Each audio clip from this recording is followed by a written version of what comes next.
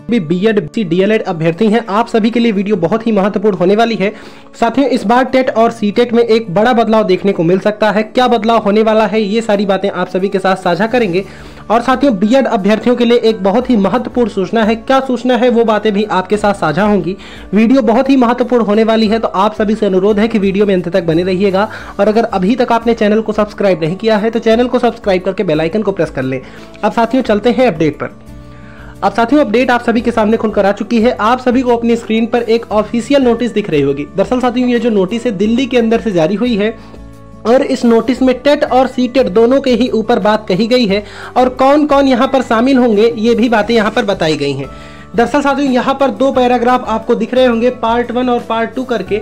यहाँ पर दोनों पैराग्राफ में कुछ बातें लिखी गई हैं। पहले पैराग्राफ में साथियों, ये कहा गया है कि आप सभी जितने भी अभ्यर्थी हैं, अगर किसी भी क्षेत्र से, किसी भी एजुकेशनल क्षेत्र से आपने अगर कोर्स किया हुआ है तो आप टेट और सी टेट दोनों के लिए ही मान्य होंगे।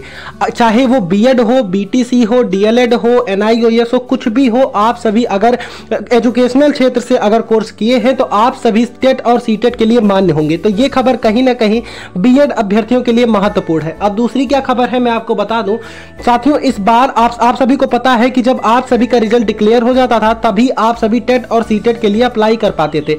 लेकिन अब यहाँ पर साथियों, एक बड़ा बदलाव देखने को मिला है। अगर आप फ़र्स्ट थर्ड किसी भी सेमेस्टर में हैं, अगर आपने एजुकेशनल कोर्स में अगर आपने एडमिशन ले लिया है और आप अगर चाहते हैं टेट और सी टेट में आवेदन करना तो आप अब आवेदन कर सकते हैं। वहाँ पर किसी भी प्रकार की आपको दिक्कत नहीं आएगी, चाहे आपका रिज़ल्ट डिक्लेयर हुआ हो या फिर ना हुआ हो।